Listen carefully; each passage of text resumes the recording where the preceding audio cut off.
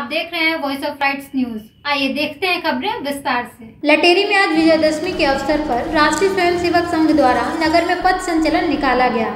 यह पथ संचलन सरस्वती शिशु मंदिर से प्रारंभ होकर लटेरी के मुख्य मार्गों से होते हुए निकाला गया है और संचलन का समापन सरस्वती शिशु मंदिर लटेरी में प्रार्थना के साथ हुआ।